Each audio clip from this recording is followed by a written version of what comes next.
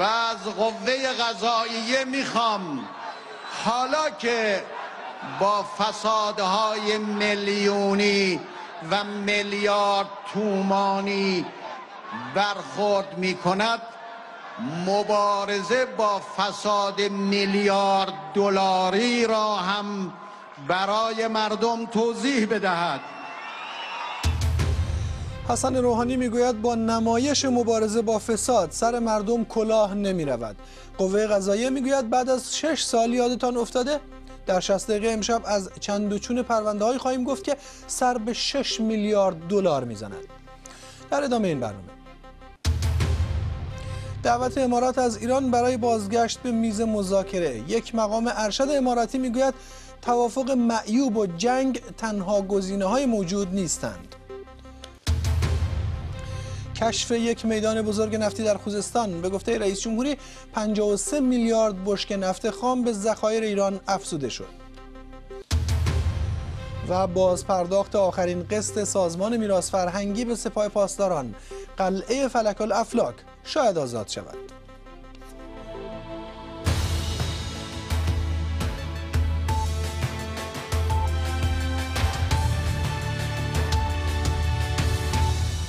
شست دقیقه. زنده از بی بی سی در لندن.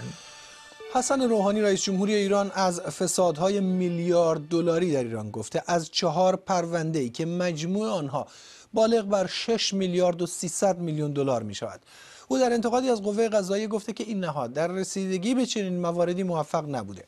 شماری از حاضران در مراسم سخنرانی رئیس جمهوری ایران هم علیه عملکرد اقتصادی او شعار دادند. در واکنش آقای روحانی گفت که این چند نفر صدای مردم را بازتاب نمی‌دهند و تلویحا اشاره کرد که صدای آمریکا از حنجره آنها شنیده می شود پرونده های فسادی که حسن روحانی از آنها سخن می‌گوید کدام ها هستند؟ شعار علیه کارنامه اقتصادی حسن روحانی یک حرکت سازماندهی شده سیاسی بود یا حاصل سرخوردگی مردم عادی؟ بیشتر در این باره حرف می‌زنیم. اول گزارشی از شیدا هوشمندی. از قوه قضاییه می‌خوام. حالا که با فسادهای میلیونی و میلیارد تومانی برخورد می کند مبارزه با فساد میلیارد دلاری را هم برای مردم توضیح بدهد. صحبت های پرباستاب حسن روحانی رئیس جمهوری اسلامی ایران در سفر استانی به یزد. بعضی می‌گویند تصفیه حساب سیاسی بوده. نزدیکان دولت هم معتقدند آقای روحانی می‌خواهد در مبارزه با فساد جلودار باشد. دو میلیارد و هفتصد میلیون پول این مردم را خورد. اینجا اشاره آقای روحانی به دو میلیارد دلار پول نفت در پرونده بابک زنجانی در میان کف و سوت مردم یزد. دو میلیارد دلار پولی که به حلقوم آمریکا رفت و دولت قبل ده ماه وقت داشت که این پول را از حلقوم آمریکا درآورد. منظور رئیس جمهوری ایران مصادره دو میلیارد دلار از اموال بانک مرکزی در امریکاست. باز هم با انتقاد از دولت محمود احمدی نژاد در کوتاهی در خارج کردن اموال ایران از امریکا بدون پاسخ به استدلال دادگاه که می‌گوید این اموال به خاطر بمبگذاری ها و اقدام های خشونت‌آمیز جمهوری اسلامی بلوکه شده. اینها تنها بخشی از صحبت‌های جنجالی حسن روحانی درباره فساد است. کسی که نزدیکانش از جمله برادر او به فساد متهم هستند. دستگاه های نظارتی را مسئول می کنم تا 947 میلیون دلار را برای مردم توضیح بدهند به وزیر نفت می‌گویم 700 میلیون دلار پول نفت را برای مردم توضیح بدهند ارقامی که حسن روحانی از آنها صحبت می کند بزرگ هستند اما رئیس جمهوری نامی از این نهادهای به گفته او فاسد نمی‌برد. دانستن ارقام هم گره از مشکل فساد باز نمی کند اینکه چند نفر را به دادگاه بردن و تبلیغ کردن و سر و صدا کردن سر مردم کلاه نمی رود اشاره حسن روحانی به دادگاه های بررسی پرونده های فساد است که از زمان روی کار آمدن ابراهیم رئیسی در قوه قضاییه در ابعاد کم سابقه تشکیل می شوند. دادگاه هایی که چند روز خبرساز می شوند و بعد از یادها می روند.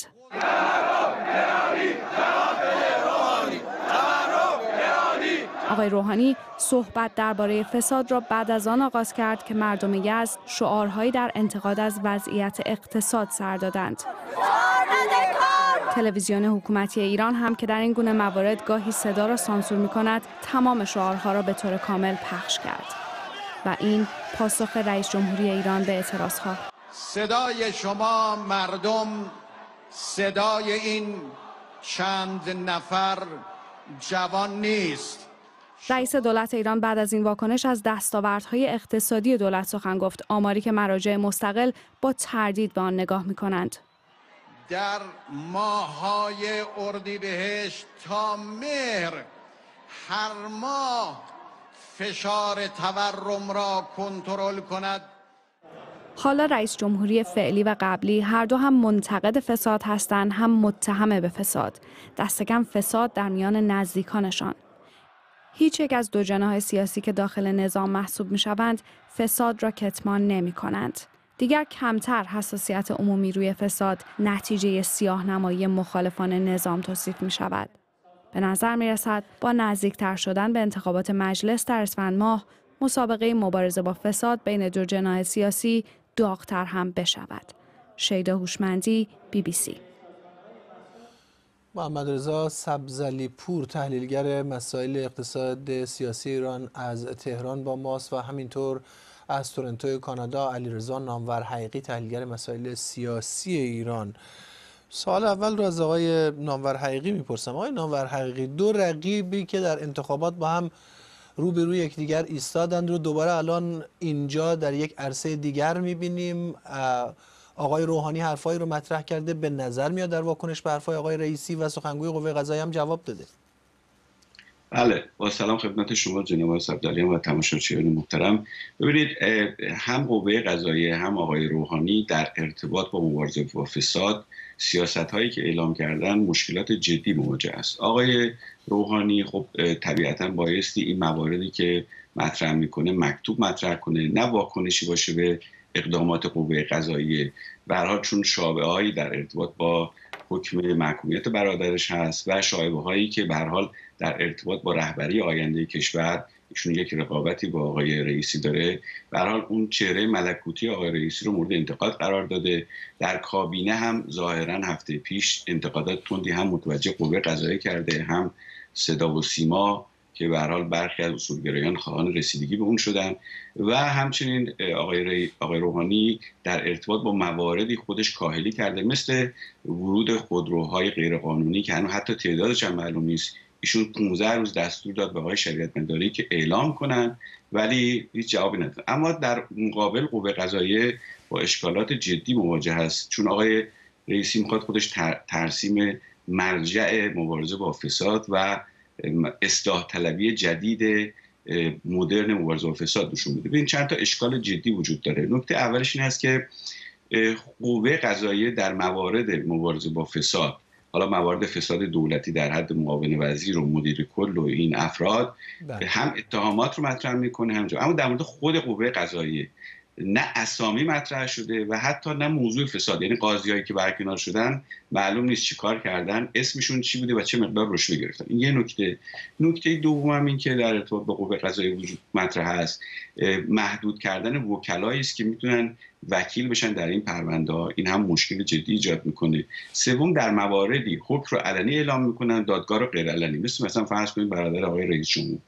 چهارم مسئله این هست که آقای رئیسی در مواردی که اتهامات متوجه نهادهای غیر دولتی است مثل ستاد اجرایی یا مواردی که از جمله آقای سرفراز رئیس صدا و سیما رسما علیه آقای تایپ مطرح کرد قوه قضایی یا حتی دولت هیچ اعلام جرمی نکردن چون مشخصا مربوط به یک فساد مالی بزرگ چند میلیون دلاری بود که ایشون متوجه رئیس سازمان اطلاعات سپاه کرد. موارد دیگه هم هست در واگذاری ها که مطرح خواهیم آقای علی پور چهار پرونده بزرگ امروز آقای روحانی بهشون اشاره کرد. دو میلیارد و 700 میلیون بابک زنجانی دو میلیارد دلار مسئله ضبط پولهای ایران توسط آمریکا 947 میلیون دلار یک نهاد که ظاهرا اشارش بر اساس اون چیزهایی که این طرف اون طرف نوشته شده موضوع صدا سیماست.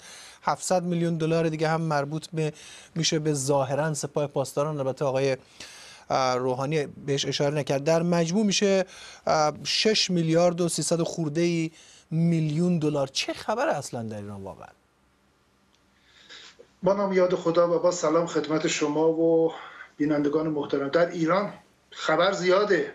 خیلی هم خوبه. انشالله شما تشریف بیارید. ما هم در خدمتتون هستیم اینجا.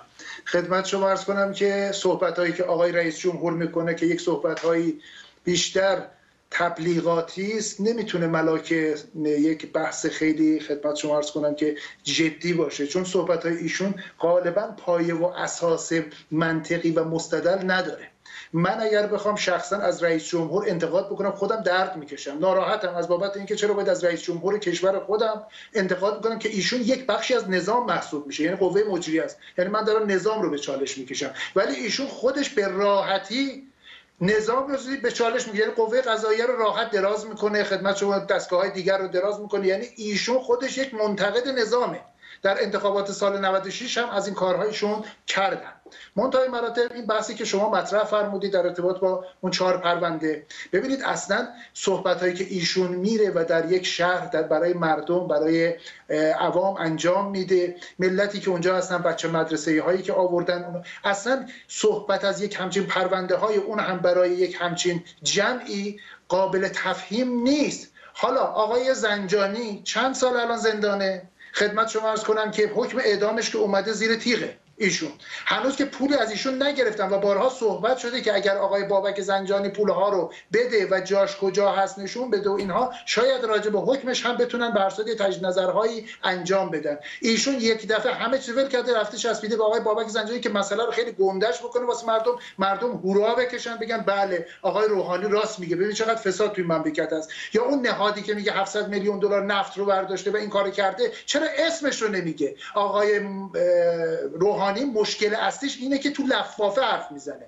ایشون اگر آمار داره اگر مستند باید صحبت بکنه ایشون بایستی مدرک داشته باشه بگه آقا مثلا علیپور 700 میلیون دلار بدهکاره چرا شما یک حرفی رو میگید اون دستگاه؟ این دستگاه اون یکی این یکی که مردم رو میندازید به شک و گمان مردم بیان برای شما به حساب پیش بینی می‌کنن منظورش این بود.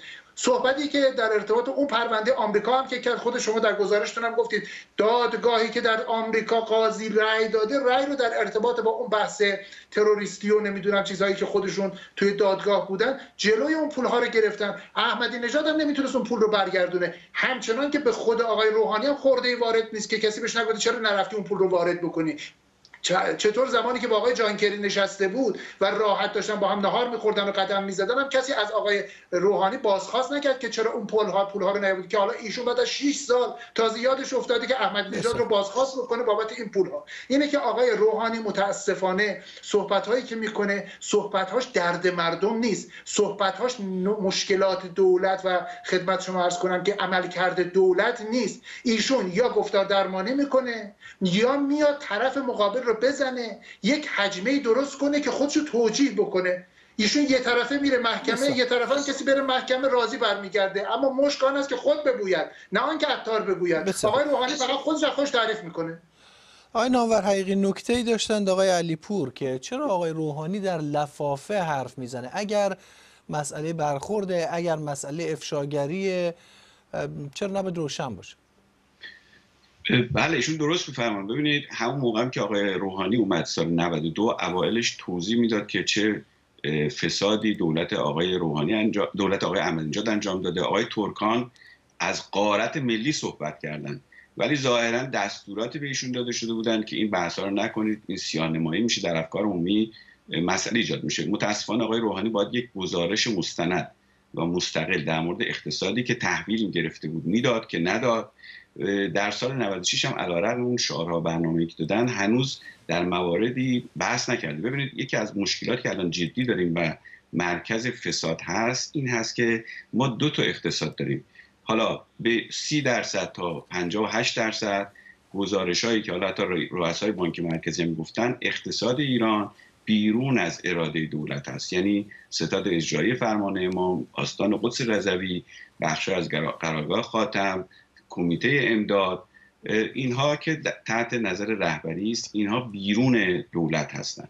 این نهادها میلیاردها دلار هم ثروت دارند و هم چند تا مشکل ایجاد کردن نکته اول که این این ثروت های اینها متعلق به اموال عمومی است متعلق به مردمه ولی معلوم نیست چه مدیرانی بر سر این شرکت ها و نهادهایی که اینا رو اداره می‌کنن گذاشته میشن. چون می‌دونید فساد این نیست که شما فقط پول بخورید. مهمترین فسادی که در ایران هست اینه که شما آدم ناکارآمد رو بذارید بر روی منابع مالی. یعنی مثل فرض کنید یه بنز مرسدس بنز آخر مدل رو بدید یه بچه سه رانندگی کنه. این فساد متاسفانه در ایران توجه نمیشه. الان بزرگترین فسادی که ایجاد هست و منابع عمومی حیف و مل میشه گذاشتن مدیران نالایق و ناکارآمد و فرمگرا که فقط می‌خوام بگن ما متحد به نظامیم در این سمت هاست. متاسفانه دولت هیچ گزارشی یا اطلاعی نداره که این منابع چطوری اداره میشه.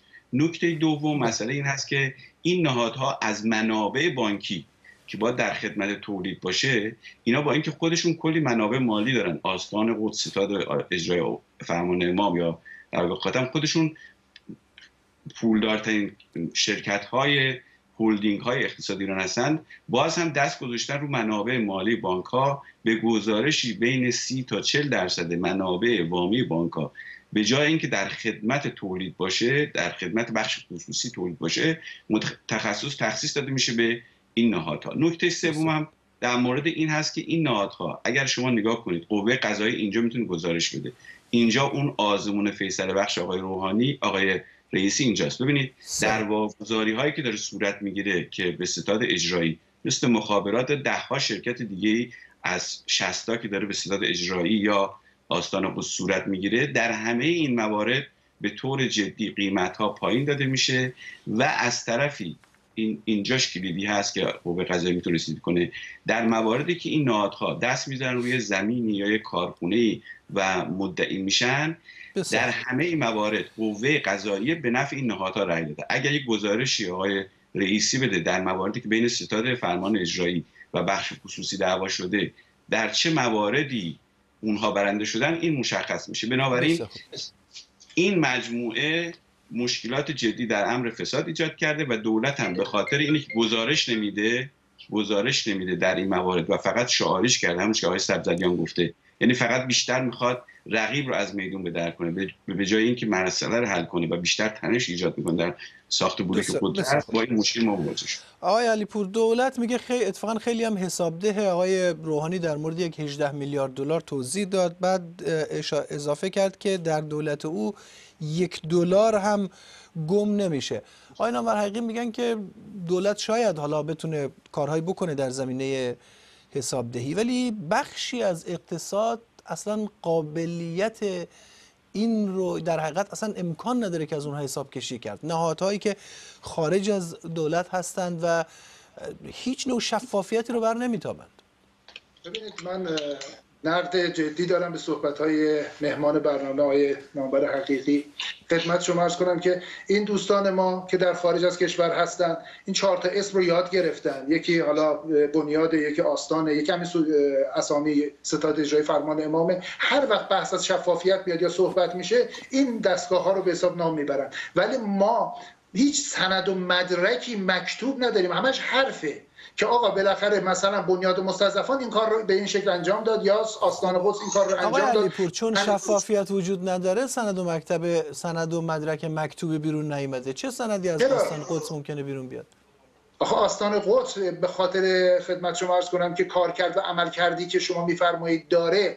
چقدر بخش اقتصادی در اختیارشه؟ چند تا کارخونه داره؟ چقدر سیستم اقتصادی در اختیارشه؟ بیایم اصلا اقتصاد ایران رو تقسیم بکنیم. چه مقدارش دولتی است؟ چه مقدارش خصوصی است؟ چه مقدارش شبه دولتی است که دست همین نهادهایی است که به هر صورت عمومی یا خصوصی که به هر صورت بحثش هست و اینها. اینقدر اقتصاد در دست اینها نیست. یه سونی قرارگاه خاتم در سپاه رو شما مثال میزه این قرارگاه خاتم که تجارت نمی‌کنه. بارها من عرض کردم یه قرارگاه عمرانیه. سازندگیه یعنی خدمت شما عرض کنم دولت پروژه‌ای رو که نمی‌تونه اجرا بکنه یا شهرداری نمی‌تونه اجرا بکنه وزارت راه نمی‌تونه اجرا بکنه سخت ترین هاش رو که نمی‌تونن اجرا بکنن میان میدن به این مجموعه این مجموعه براشون اجرا می‌کنه به, به, به نحو احسن هم اجرا می‌کنه و نهایتا تحویل خودشون میده. یعنی کارفرما دولته. اینها عمرانیه. بعد میگن آقا سپاه همه چی داره. سپاه چی داره؟ کدوم شرکت شرکت ها رو نام ببرید. سپاه نگفتم آقای سبزلیان ببینید شما شما گزارشه. ببینید هلدینگ هلدینگ ستاد فرمان اجرایی. شما بگید خب. چند بانک سهام در چند بانک داره؟ شرکت های خب. داروسازی که داره در حوزه های مختلف اینا لیست شرکتاش هست. شما همین که مطرح نمیشه یعنی که شفافیت نیست. شما کجای اقتصاد سهامدار چند بانک دولت. ببینید دولت در مورد من خودم گفتم در مورد واردات خودرو. در مورد اون 18 میلیارد دلاری که داده شده آقای شریعت مداری هیچ گزارشی نداد. مثل کاغذ مثل موارد دیگه ای که برخی از اتهامات آقای حسین فریدون هم در همین ارتباط بود که دولت به گروه ها و شرکت های متعلق به خودش این ارزها رو اختصاص داده. کاملا فساد آشکاری است که بوده. الان هم آقای نهاوند داره همین کار سازی می‌کنه و اجازه بفرمایید اجازه بفرمایید. تا اسم سپاه اومد گفتید سپاه منظورم نیست منظورم بالاخره ستاد اجرای فرمان ستاد اجرای فرمان امام توی یکی دو تا از بانک ها سهام داره. بانک پارسیان نمونهشه. خب بانک پارسیان شفاف حساب کتاب داره. اگر سودی کرده که خب سهامدارانش سود بردن ستاد اجرای فرمان امام هم جزی از اون سهامدارانه. اگر ضرر کرده که خب سهامدار هم ضرر کرده. یعنی ستاد اجرای فرمان امام. آقای هیچ منبع قانونی ما نداریم که ستاد اجرایی فرمان امام بتونه چنین اموالی داشته باشه. اونها یک مورد استراری بود. آقای متحری هم گفت. اینا یه از بس خارج نشیم از بس خارج نشیم. من یه سوال از آقای سبزلی پور می‌پرسم و بعد هم یه سوال از شما آقای نامور. آقای سبزلی پور نکته کلیدیش اینه. بله، آقای سبزلی پور چقدر ممکنه در این بازی مقصر پیدا کردن انتخابات مطرح باشه؟ ببینید خدمت شما ارز کنم آقای روحانی ارز کردم. صحبت هایی که می‌کنه بیشتر صحبتاش جنبه تبلیغاتی داره و انگاری که داره در آستانه انتخابات صحبت می‌کنه. ایشون میاد و در زمانی الان بعد از 6 سال میره میگه سلام بر محمد خاتمی. اصلا نمی‌دونه آقا محمد خاتمی چند روز پیش از ایشون انتقاد کرد. اصلا آقای خاتمی راضی هست که الان ایشون اسمش رو آورده؟ مثل اون دفعه گذشته که سال 92 رفت من هست رو بر میدارم. هنوز اصلا یادش نمیاد که صحبتایی که ایشون کرده. بعد مردمی که اعتراض می‌کنن که معیشتشون گرفتارن و مورد ظلم دارن واقع میشن از نظر زندگی و معیشت به اونها میگه که صدای حنجره آمریکا گلوی شما داره به حساب در میاد بیرون. یعنی ایشون مردم و مملکت رو فراموش کرده و ایشون می‌خواد مشکلات خودش رو خدمت شما مشکلات دولتش رو البته به یه شکلی جمع جور بکنه و ذهن مردم رو منحرف بکنه به سمت قوه قضایی دستگاه های دیگه. ولی آقای روحانی در انتخابات هم بختی نداره. به لحاظ اینی که الان انتخابات نزدیک خود آقای روحانی و سیستمش به لحاظ بعد عملکردش مردم رو ناراحت کرده به اعتماد عمومی ازش سلب شده. همین نکته شما رو من از آقای نامور حقیقی می‌پرسم. آقای آقای علیپور آقای نامور حقیقی آقای روحانی که نمی‌تونه دوباره انتخاب بشه. چه بهره انتخاباتی می‌تونه ببره از این حرفا؟ کوتاه لطفا. ببینید اون همون نکته من اشاره کردم. اون نهادهایی که اونجا مطرح شده اینا منبع قانونی یعنی سیاست اجرایی منبع قانونیش که اینا می‌تونن اقتصاد رو جدا کنن و گزارش ندن به دولت و مالیات عملکرد ندن به دولت اینها هیچ منبع قانونی نداره. این نکته اول. در دولت آقای روحانی انگیزه های مختلفی مطرح است. یکیش بخشش این است که آقای روحانی به هر حال احساس می‌کنه زیر فشار هست برادرش رو محکوم کردن ممکنه برن سراغ اعضای دولتش و در افکار عمومی هم در موقعیت متزلزلی قرار داره بنابراین داره یک ضد حمله تبلیغاتی انجام میده که از این موقعیت خارج بشه. این یه نکته. نکته دوم این هست که آقای روحانی به خاطر اینکه بازی ساز نیست بازی خان هست ولی توانایی تغییر بازی رو نداره الان احساس می‌کنه که روز به روز موقعیت ایران از جنبه بین‌المللی از جنبه اقتصادی دچار مشکل هست. و تلقی آقای روحانی است بدون اینکه این مسئله بین‌المللی حل نشه و مسئله نتونه به یک مذاکرات جدی وارد بشه ایران با مشکلات جدی مواجه خواهد شد و آقای روحانی وقت میشه سمبل تمام ناکارآمدی هایی که وجود داشته و این سیاستی است که اصولگراها می‌خوان در مورد آقای خاتمی آقای روحانی اجرا کنند آقای رئیسی قوه قضاییه هم همین کار داره می‌کنه. بنابراین این ضد حمله داره اون بخش رو هم جواب میده. نکته سومش هم به هر حال اون آینده رهبری هم نگاه کنید به هر حال آقای رئیسی آقای روحانی از از جنبه خودشون خودشون فکر می‌کنن شانس دارن برای رهبری. از این بابت هم این بابت رو باید دید و این اشاره کردید. بله آقای نامورحقی گفتگو رو با شما شروع کردیم. می‌خوام با آقای علیپور تمام بکنیم. آقای علیپور خیلی وقتمون کمه. نکته ای دارید بفرمایید. خیلی کوتاه لطفا. ببینید همچنان که صحبت شد حالا آقای نامور قرار بود که طرف بنده باشن منتها مثل اینکه دوتامون هم عقیده ای یعنی کسی فعلا پیدا نشده که از عملکرد آقای روحانی به هر صورت دفاع بکنه. نمی‌دونم اینو بگم بدبختانه یا خوشبختانه. ولی آقای روحانی متاسفانه ناراحتیش از جایی است که برخورد دستگاه قضایی با فساد زیاد شده و جدی شده. اول قوه قضایی با خود دستگاه قضایی شروع کرد. منتهای مراتب پول دست دولته. مردم هم می‌دونن. پول دست دولت جایی که پول باشه فساد برانگیزه. الان هلال احمد زیر تیغه. چون به هر صورت مشکلات داشته. سازمان خصوصی سازی ایران خودرو فساد قوه قضاییه که اعلام نکرده مشکل دارن و دولت روحانی ناراحت از این برخورد هاست و میترسه از اینه که این گسترش پیدا بکنه و تمام بخش های فساددار رو در بر بگیره. آقای روحانی به جای اینکه این کارها رو انجام بده بهتره که همراه با نظام باشه و اگر مفسدی وجود داره معرفی بکنه به دستگاه قضا تو لفافه هم صحبت نکنه چون کارش به جایی نمی‌رسه. سپاس گذارم سپاس گذارم. خیلی هم ممنون از هر دو آقایون محمد رضا سبزعلیپور تلگر مسائل اقتصادی ایران از تهران با ما و همینطور علیرضا نانور حقیقی تلگر مسائل سیاسی ایران از تورنتو کانادا با ما. جای شکرش بود که هر دو آقایون با هم دیگه موافق بودن ولی اگه مخالف جدی می بودن معلوم نبود که بحث چقدر طول می‌کشه. در هر صورت رئیس جمهوری و قوه قضایی ایران در عرصه مبارزه با فساد به هم تاختند. ابراهیم رئیسی خود را پرچمدار مبارزه با فساد می‌داند اما حسن روحانی می‌گوید دستگیری ها حرکتی نمایشی است و دانه درشت ها دستگیر نمی‌شوند. پرهام قبادی گزارش می‌دهد. مسئولان کشور روزنامه که نیستید شما که راجع به فساد حرف می‌زنید. حرف زدن راجع به فساد فایده ای ندارد. اختلاس فرار مفسدان اقتصادی بازداشت یقه سفیدها دستگیری سلاطین غیر و سکه و غیره در کنار بستگان مقامات دولتی دائما سرتیتر خبرهای ایران است و به امری روزمره بدل شده. همه جناها در جمهوری اسلامی دائیه مبارزه با فساد دارند و هر گروهی دیگری را به فساد محکوم می کند. من هیچ خط قرمزی برای مبارزه با فساد با شبکه فساد در کشور ندارم. برخورد با فساد هم واقعا خط قرمز نداره. ابراهیم رئیسی رئیس جدید قوه قضاییه با شعار مبارزه با فساد به میدان آمد. دستگاه های نظارتی را مسئول می کنم امروز اما رئیس جمهوری ایران تلویحا قوه قضاییه را به فریب دادن مردم متهم کرد. فساد دانه درشت ها کجاست؟ چرا به این پول ها رسیدگی نمی کنید؟ اینکه چند نفر را به دادگاه بردن و تبلیغ کردن و سر و صدا کردن سر مردم کلاه نمی رود قوه قضایی این اتهام را بی پاسخ نگذاشت سخنگوی این نهاد گفت رئیس جمهوری به جای اعتراض از تریبون های عمومی اگر سندی داشت باید به دستگاه قضایی ارائه می کرد. آیت الله خامنه ای پیشتر گفته بود فساد در جمهوری اسلامی همهگیر نیست و تنها موردی است. فساد سیستمی در دوره تاغوت وجود داشت و سیستم به طور طبیعی فسادآور بود. اما امروز فسادهایی وجود دارد که اگرچه فسادهای بدی نیز هستند ولی فساد به صورت موردی است نه سیستمی که البته باید با این موارد هم برخورد شود. اما علیرضا زاکانی نماینده سابق مجلس ایران می‌گوید فساد اقتصادی ندیده که پشتش قدرتی وجود نداشته باشد.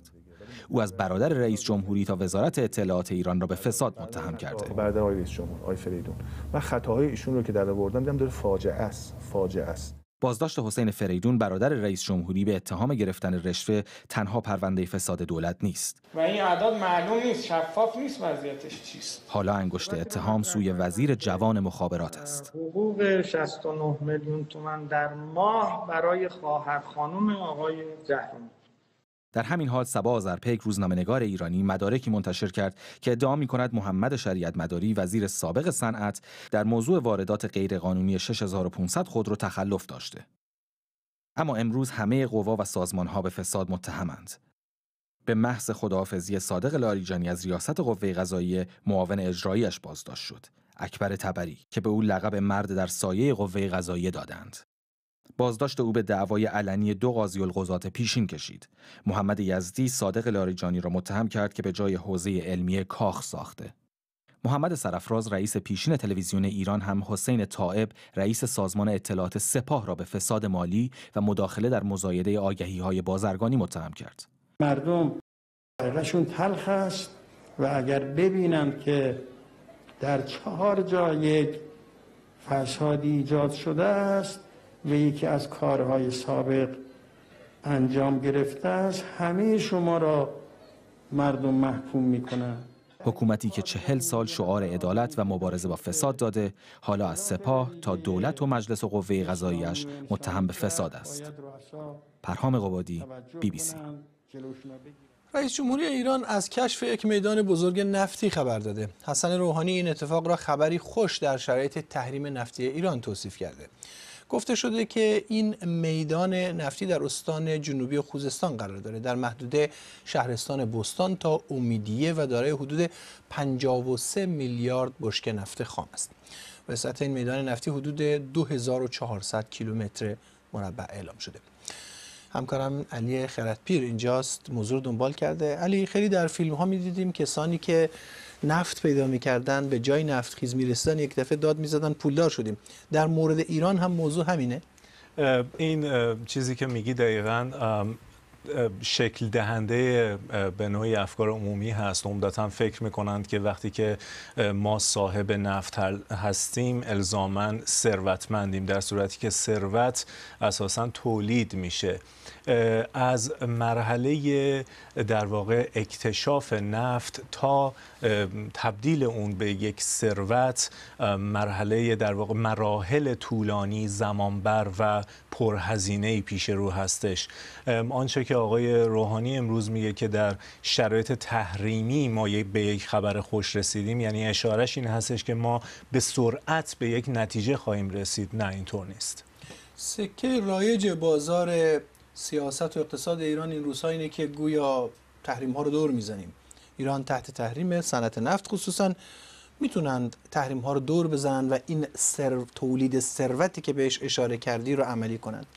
طبیعتا همونطوری که گفتم اگر بخوایم مشخصا در مورد این میدان جدید که ازش به عنوان دومین میدان بزرگ نفت ایران یاد میشه با 53 میلیارد بشکه نفت درجا صحبت کنیم نه اینطور نیست. به دلیل اینکه به زمان نیاز داره به فناوری نیاز داره به سرمایه گذاری نیاز داره و مشخص نیستش که در واقع طی چند سال می‌خواد این روند طی بشه و در نهایت چگونه اینها می‌خوان این در واقع نفت رو براش بازاریابی کنند و صادر کنند. اما اگر بخوایم در مورد کل در واقع فروش نفت ایران حرف بزنیم می‌بینیم که در واقع خودشون هم به این نتیجه رسیدند که شرایط امروز مثل گذشته نیست و باید وابستگی رو به این نوع درآمد کمتر کنند. تأکید زیادی در ایران بر اقتصاد بدون اتکاب نفت میشه. استحصال این میدان ها چقدر با سیاست های کلان همسو هست؟ یه نکته ای رو فراموش نکنیم. در واقع ما میدان هایی داریم همین امروز که ذخایر اثبات شده نفت دارند اما به تولید نرسیدند برای مثال میادین مشترک میدان مشترک بین ایران و عراق در بهترین حالت گفته میشه که در حال تولید هست. اما این بحث اقتصاد بدون نفتی که شما میگید در واقع این همواره در سخت ترین شرایط دولت مردان مجبور شدن به اون سمت برن. شما اگر به دولت محمد مصدق نگاه کنید اقتصاد بدون نفت در شرایطی مطرح شد که دیگر کسی از ایران نفت نمی‌خرید. اما در یک تصویر بزرگتر ما می‌بینیم که ایران به شدت درگیر مسئله فروش نفت هست و به نظر نمی‌رسه اساسا وابستگیش به نفت در یک شرایط طبیعی یعنی وقتی که مشتری داره و می‌تونه نفت خودش رو صادر کمتر شده باشه ممنونم از همکارم علی خردپیر امارات متحده عربی از ایران خواسته که به پای میز مذاکره برگردد. انور قرقاش وزیر مشاور در امور خارجه امارات ایران را به مذاکره با قدرت‌های جهانی و کشورهای عرب منطقه خلیج فارس تشویق کرده. او گفته باید توافق جدیدی حاصل بشه که علاوه بر برنامه اتمی ایران، فعالیت‌های موشکی و منطقه ایران را هم در بر بگیره. آقای قرقاش همطور گفته که تشدید تنش‌ها در منطقه به نفع هیچ کشوری نخواهد بود و هنوز امکان حل مناقشات از طریق دیپلماسی وجود داره. فرهاد رضایی پژوهشگر مرکز مطالعات سیاستگذاری بین المللی دانشگاه اتاوا. از همین شهر با ماست. آقای رضایی تغییر سیاستی رو می‌بینیم تغییر جهتی رو می‌بینیم در امارات متحده عربی؟ بله تصور می‌کنم که یک شیفتی داره ایجاد میشه توی سیاست کشورهای منطقه حرفای وزیر خارجه امارات که دیروز یا پریروز زدن بسیار مهمه. این حرفا رو بذارید کنار این خبر که امارات متحده عربی 700 میلیون دلار چند تقریبا چند هفته پیش از دارایی های جمهوری اسلامی رو آزاد کرده. اتفاقیه که بسیار مهم و قابل توجه هستش. به نظر میاد که امارات به دنبال حل و فصل مسالمت آمیز مناقشه با ایران هستش. تصور می‌کنم چند تا عامل باعث شده که کشورهای عربی منطقه متوجه بشن که اگه در واقع خواهان تغییر رفتار جمهوری اسلامی هستن اونها هم باید سیاست هاشون رو به نوعی در رابطه با ایران تغییر بدن. ابتدا فکر می‌کنم عامل اول سیاست های دولت ترامپ هستش که در واقع یه جورایی بهشون ثابت کرده که ایالات متحده امریکا دیگه متحد قابل اعتماد و قابل اتکایی نیستش و در شرایط بحران یا به قول خودمون سر به زنگا پشت اینها رو خالی می‌کنه. نمونهش زمان حمله به نفتکشها در خلیج فارس یا حمله موشکی به آرامکو بود که تقریبا همه این حمله ها رو یه جورهایی به سپاه پاسداران نسبت دادن. ولی ایالات متحده یا بهتر بگم دولت ترامپ هیچ واکنشی نشون نداد. بنابراین اینا فهمیدن که تنها راه حل برای برخورد با جمهوری اسلامی دیپلماسی هستش. سیاست های ترامپ نه تنها باعث این مسئله شده بلکه کشورهای منطقه رو به سمت نوع نگاه به شرق هم سوق داده. همون سیاستی که جمهوری اسلامی مدت هاست دنبال می‌کنه. مثلا سعودی ها رو در نظر بگیرید که پوتین رو دعوت کردن به ریاض که نشون دهنده این هستش که اینا فهمیدن پوتین و روسیه به مناطق قابل اعتمادتر از ترامپ هستش. معنای این حرف شما می‌تونه این باشه آقای رضایی که گویا حرکت نظامی ایران پاسخ داده؟ ببینید یه جورهایی بله ولی این مسئله دومی رو که من می‌خواستم اشاره بکنم این هستش که جمهوری اسلامی طی چند روز اخیر یه سیگنال هایی رو فرستاده که به زودی قرار از برنامه از قرارداد اتمی بیرون بیاد. و حتی زمزمه هایی بود که مبنی بر این که می‌خوان از NPT یا قرارداد منع گسترش سلاح‌های هسته‌ای هم خارج بشن. به نظر من کشورهای منطقه به درستی می‌دونن که با سیاست های ترامپ نمیشه جلوی اتمی شدن جمهوری اسلامی رو گرفت. پس باید خودشون دست به کار بشن و راه بهتری پیدا بکنن. گفته های وزیر خارجه امارات به نظر من هیچ شک و شبهه‌ای باقی نمی‌ذاره که تنها راه جلوگیری از جنگ دیپلماسی با جمهوری اسلامی هستش. خب چه زمینه های مشترکی وجود داره برای دیپلماسی و گفتگو بین ایران و کشورهای عرب حاشیه خلیج فارس مشخصا امارات متحده عربی یا عربستان سعودی؟ ببینید به نظر من جمهوری اسلامی یک واقعیت خاورمیانه ای هستش. و کشورهای عربی منطقه ایالات متحده و همچنین اسرائیل این رو باید در نظر بگیرن و جمهوری اسلامی رو وارد نظم منطقه‌ای بکنن. بذارید یه, یه نمونه مشابه رو خدمتتون عرض کنم که بینندگان عزیز متوجه بشن که دقیقا منظور من چیه. ببینید بین سالهای 1991 و 93 ایالات متحده امریکا و اسرائیل مذاکرات با فلسطینی ها رو از سر گرفتن که منتج به پیمان اسلو در سال 1993 شد. اینها جمهوری اسلامی رو اون موقع از میز مذاکره و نظم منطقه‌ای بیرون کردن و با این بهانه که جمهوری اسلامی هیچ نفوذی رو فلسطینی ها نداره. بنابراین می‌گفتن که ضرورتی هم نداره حضور داشته باشه توی روی میز مذاکره. اما بعد چند سال که این پیمان شکست خورد جمهوری اسلامی رو مسئول شکست پیمان اسلو دونستن و گفتن که اگه اگه جمهوری اسلامی حماس و جهاد اسلامی رو حمایت نمی‌کرد بنابراین این پیمان شکست نمی‌خورد.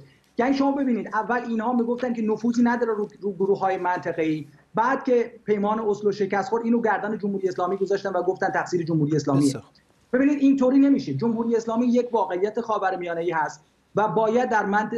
نظم منطقه اون رو راه داد تا به صلح و ثبات رسید. و فکر می‌کنم ظاهرا الان کشورهای منطقه در واقع به لطف ترامپ یه نوعی به این نتیجه رسیدن. سپاسگزارم از فرهاد رضایی پژوهشگر مرکز مطالعات سیاستگذاری بین المللی دانشگاه اوتاوا از همین شهر با ما. عبدالله عبدالله از نامزدهای انتخابات ریاست جمهوری افغانستان از کمیسیون انتخابات خواست که روند بازشماری آرا را متوقف کند. آقای عبدالله در گرد همایی هوادارانش در کابل گفت نتایج این بازشماری برای تیم او مشروعیت ندارد. او هشدار داد که در صورت ادامه این روند تیم انتخاباتیش در مورد اقدامهای بعدی تصمیم خواهد گرفت. کمیسیون انتخابات گفته که کار بازشماری آرا امروز شروع شده و پیش می‌رود. ارشاد هنریار گزارش می‌دهد. عبدالله عبدالله. عبدالله عبدالله در لباس منتقد از کمیسیون انتخابات. انتقاد از بازشماری آرا و رسمیت بخشی به آرایی که درج سیستم بایومتریک نیستند. او امروز در میان هوادارانش اینجا در خیمه لویه جرگه در کابل موقف تیمش را روشن کرد. که چون بیومتریک نیست ما چی را می‌خوایم حساب کنیم؟ اما اساس کار صورت نگرفته. معلومات بیومتریک وجود نداره وقتی که در سرور مرکزی اما جایی که ما هم به او دسترسی داشتیم. معلومات در مورد 2400 محل وجود نداره. پس معنایش است که رأی وجود نداره. هر چیز دیگه که هست می‌تونه که دمو زنجیره تقلب شامل باشه. اگر کمیسیون با شماری را در غیاب ناظرین ما ادامه بده ما مجبور به اقدامات بعدی میشیم. این گرد همایی برای بسیاری خاطرات انتخابات ریاست جمهوری سال 2014 را تازه کرد. جنجالی که در نهایت منجر به تشکیل حکومت وحدت ملی شد. اما او این بار گفت که مسلحت به مسلحت در او زمان مسلحت در مکب بود که ما گپ به کشمکش نرسانیم. مصالح اولیای مردم در نظر بگیریم. با اونمو ترتیب امروز مسلحت مردم و مسائل اولیای کشور ایجاب می‌کنه که رأی تقلبی باید از سیستم بره. خلاص. به یاری خداوند بزرگ رأی پاک مردم افغانستان رأی پاک مردم افغانستان به کرسی می نشانیم. به نظر می رسد تیم رقیب به رهبری اشرف غنی امروز سخنان او را مو به مو شنیدند تنها تکت انتخاباتی ثبات و همگرایی نیست. چندین تیم دیگه هستن که حاضر هستن برای بازشماری آرای مردم افغانستان در کنار تیم دولت ساز. چند تیم محدود است که اونا انگوش شمار هستن که این برنامه را نمی‌خواین بازشماری شود. اما بازشماری به سود مردم افغانستان و هی حق مردم افغانستان است که باید آرایشان از آرای ناپاک جدا شود. وضعیت پیش آمده بسیاری ناظران را نگران سرنوشت سیاسی افغانستان پس از انتخابات کرده. نگرانی های انتخاباتی مسئولیت اساسی کمیسیون انتخاب مستقل انتخابات و کمیسیون شکایت های انتخاباتی است. اگر این دو کمیسیون قانون تطبیق نکنند و بنابر ملاحظات سلیقه‌ای خودشان نسبت به انتخابات برخورد بکنند مشروعیت نظام انتخاباتی و نتایج انتخاباتی در افکار عامه زیر سوال خواهد بود. روشن نیست که با وجود این همه کش و قوس ها سرنوشت اعلام نتایج نهایی که به تاریخ 15 قوس یا آذر درج تقویم انتخابات شده به کجا می کشد؟ ارشاد هنریار بی بی سی کابل در رئیس مؤسسه حمایت از بیماران پوستی خاص می‌گوید عفونت ناشی از نبود پانسمان مخصوص جان کودکان مبتلا به بیماری پروانه‌ای یا ای بی را تهدید می کند. رضا هاشمی گلپایگانی مدیر عامل خانه ای بی گفته که 15 کودک به این دلیل جانشان را از دست دادند اما به زمان آن اشاره نکرده. به گفته او علت این وضعیت تحریم های داروی آمریکا بوده. هرچند آمریکا تاکید می‌کند که دارو و تجهیزات پزشکی مورد نیاز مردم ایران از تحریم ها معاف است. دکتر بابک قرایی مقدم پزشک متخصص جراحی مغز و اعصاب از تهران با ما هستن آقای قرای مقدم شما با بازار هم کم و بیش در ارتباط هستید با بیماران هم همینطور خودتون هم. تجویز می‌کنید نیاز دارید به بعضی از این ابزارها. بالاخره تحریم ها محدودیت رو بر عرصه دارو و درمان اعمال کرده یا نه؟ ببینید سلام عرض می‌کنم خدمت شما و بینندگان عزیزتون. ببینید به طور مشخص تحریم ها یکی از دلایلش اینه که مردم رو به فقر و مردم مردم رو از لحاظ دارویی و امکانات حیاتی تحت فشار قرار بده. هر کسی که غیر این رو بگه این یک شعار هستش. من برای شما دو مثال میارم. در تحریم های زمان جنگ خلیج فارس در عراق تحریم نفت در برابر غذا به صورت مشخص صحبت شد که حدود 500 هزار کودک در اثر این تحریم ها جان خودشون رو از دست دادن. با در یک یک خبرنگار با خانم از خانم مادرین آلبرایت وزیر امور خارجه آمریکا سوال کرد که اگر این واقعیت داشته باشه آیا این برای شما میارزیده؟ میگه جواب مستقیم میده که بله میارزیده. دومین مثال رو میارم. نخست وزیر سابق انگلستان آقای تونی بلر. با همین با همین استدلال در سال 2010 در پارلمان انگلستان توجیه کرد که ما چون دیدیم که تحریم ها خیلی بیشتر از جنگ مستقیم باعث مرگ و میر مردم در عراق میشه ما وارد جنگ شدیم. در سال 1991 به نسبت 1990 یعنی ظرف یک سال در عراق میزان مرگ و میر اطفال از 60 هزار در از 60 درصد درصد هزار به 130 درصد هزار رسید. آقای یعنی مقدم ببخشید. من سوالم بیشتر تاثیر مستقیم بود. در اینی که خب پیامدهایی داره این پیامدها آثاری جانبی و غیر مستقیم داره شکی نیست. منتها آیا عرصه درمان مشخصا خرید دارو واردات دارو به دلیل تحریم ها دچار مشکل شده یا نه؟ بدون شک بدون شک شده. ولی خوشبختانه ما در ایران شرایط متفاوتی از عراق داریم. در حدود بیش از 90 خورده درصد از داروها تولید داخل هست. در مورد همین مورد ای بی که رئیس این انجمن گفتن وزارت بهداشت تکذیب کرد و واقعیتش همینه که معلوم نیست. مریضای بی خودتون حالا احتمالا دیده باشید یک بیماری بسیار نادر هست. یک چیزی حدود هزار نفر در ایران دچار این بیماری هستند. یک دوز بیماری های نادر حساب میاد این بدون شک این تحریم ها و اینکه این شرکت سوئدی اعلام کرده که ما اختلال داره و نمی‌تونیم این پانسمان های خاص رو به ایران بفرستیم. در کیفیت و ماهیت زندگی این افراد تاثیر کاملا مستقیم داره خب اما اینکه آیا مرگ و میر افراد در اثر این باشه این اینجور بیماران در اثر این به صورت مستقیم باشه معلوم نیست. چون اینا میزان مرگ و میرش معمولا این بیماران معمولا به سن بلوغ حتی نمی‌رسن. خیلی هاشون در همین سنین فوت می‌کنن. بنابراین اگر گفته بشه ایشون فرموده باشن که آقا 15 نفر در هیچ معلوم هم نیست در چه دوره زمانی فوت کردن معلوم نیست در اثر این فوت کرده باشن یا در اثر دلایل دیگه. ولی به طور مشخص این تحریم ها می‌تونه باعث بشه و در مورد موارد دیگه می‌تونه باعث بشه که این بیماران کیفیت پانسمان درشون خب. سختتر باشه که بسیار پانسمان های با دقت باید براشون انجام بشه و بسیار احتمال عفونت اینها براشون هست و این پانسمان ها پانسمان های خاصیه که این تحریم ها می‌تونه جلوی گرفته به دلیل اینکه شرکت ها به هر دلیل با این روش هایی که آمریکا پیش گرفته از همکاری با ایران خب, خب آقای دکتر به نکته خوبی رسیدیم. شرکت ها خودشون جرأت نمی کنند به ایران دارو بفروشن به نهادهای ایرانی حالا به شرکت های ایرانی.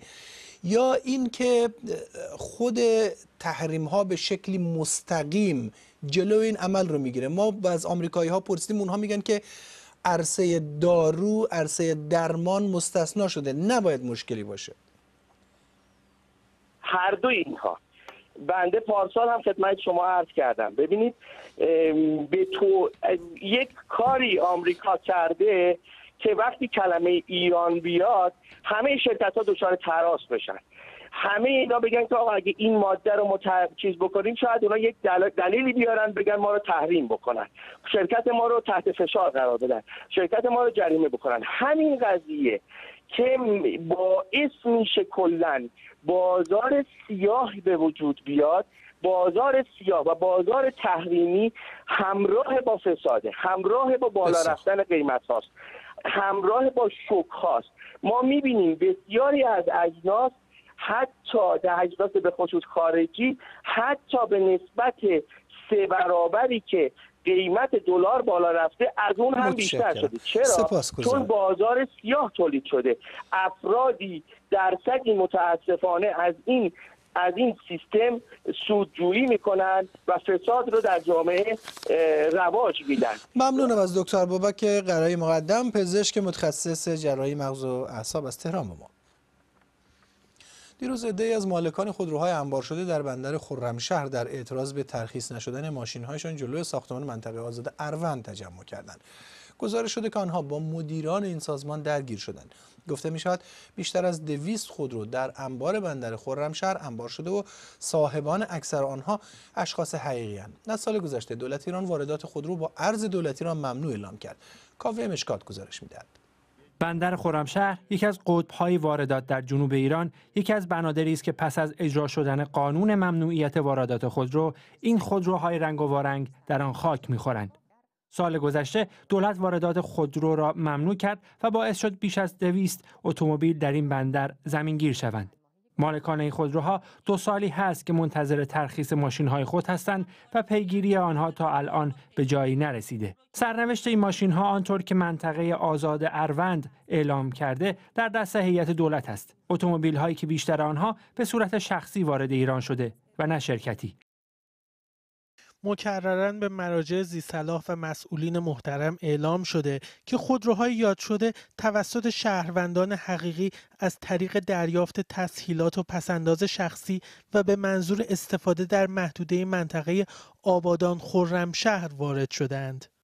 خودروهای دپو شده در بندرهای مختلف حدود 13 هزار دستگاه بوده که از حدود دو سال پیش به دلایل مختلف از جمله تغییر در شرایط ارزی یا ثبت سفارش های غیرقانونی در گمرک، مناطق و بنادر، دپو و اجازه ترخیص پیدا نکرده بودند. دولت در زمستان سال گذشته در مصوبه ای اجازه ترخیص خودروهایی که از ارز دولتی برای واردات استفاده نکرده بودند را داد و به وارد کنندگان شش ماه فرصت داد تا خودروهایی که سفارش آنها قانونی بوده را از گمرک های ایران ترخیص کنند. ظرف 6 ماه حدوداً 7500 دستگاه خودروی سواری از گمرکات کشور ترخیص شد و بعد خب نسبت به تمدید مصوبه اقدام نشد. حدوداً 1100 دستگاه خودرو علارم اینکه پروانه گمرکی برای این خودروها صادر شد در گمرک موندن. این بر نمیگرده باز به مشکلاتی که ممکن هست گمرک وجود در گمرک وجود داشته باشه. هنوز اما تعداد زیادی خودرو در بندرهای اصلی ایران بلا تکلیف ماندند و دولت گفته به دلیل ارزبری اجازه ترخیص آنها را نمی‌دهد.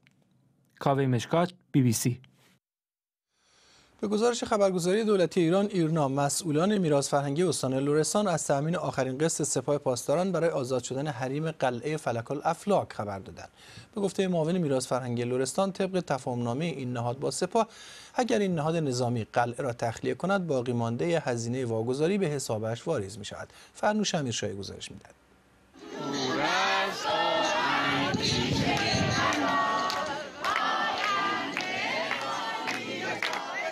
فلک الافلاک قلعه که زمانی دژی نظامی و زندانی بزرگ بود حریمش حالا قرار است با تأمین آخرین قسط آن آزاد شود مسئولان میراث فرهنگی استان لرستان گفتند آخرین قسط از 69 میلیارد تومان توافق آنها با سپاه پاسداران برای واگذاری حریم فلک الافلاک آماده است. ما 15 میلیارد آخرش در واقع به صورت اوراق اسباب خزانه در واقع در اختیارمون هست و اون رو تامین اعتبار کردیم. نامش رو هم در واقع برای سپاه پاسداران ارسال کردیم.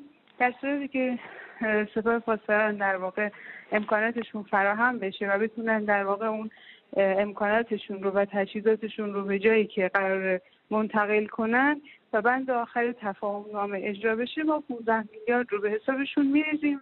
حریم این بنای متعلق دوران ساسانیان سالها در اختیار سپاه و ارتش بود.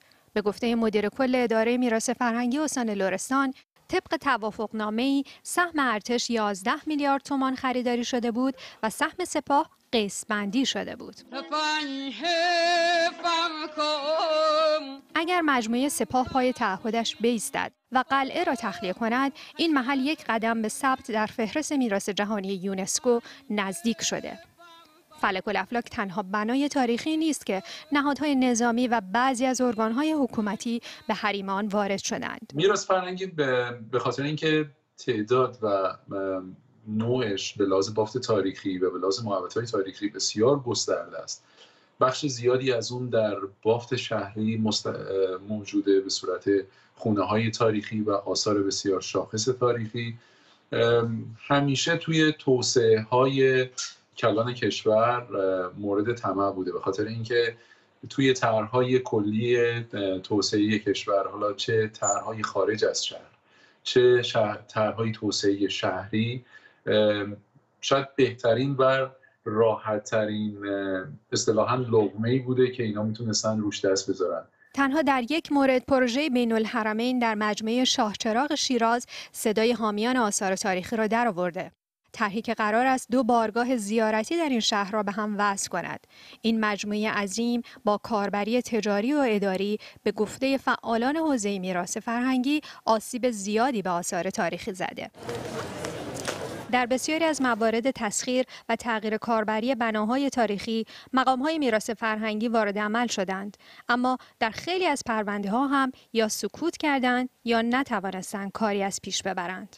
ساختار میراث فرهنگی متاسفانه ضعیف جزء ضعیفترین ساختارهای نظارتی کشور هست.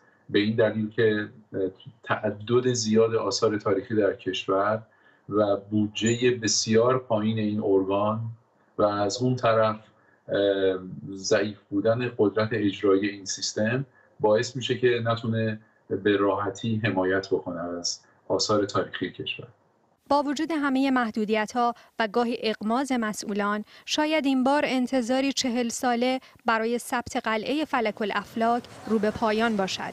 اما تحقق این آرزو در گروه تحویل ملک در اختیار سپاه به میراث فرهنگی است. هرچند. مرتزا کشکولی فرمانده سپاه لورستان قبلا گفته بود هیچ استانداری نتوانسته به سپاه جا و زمین بدهد تا از فلک الافلاک اسباب کشی کنند. فرنوش امیرشاهی بی بی سی. از اینکه برنامه 60 دقیقه رو تا آخر تماشا کردید ممنونیم از همراهی شما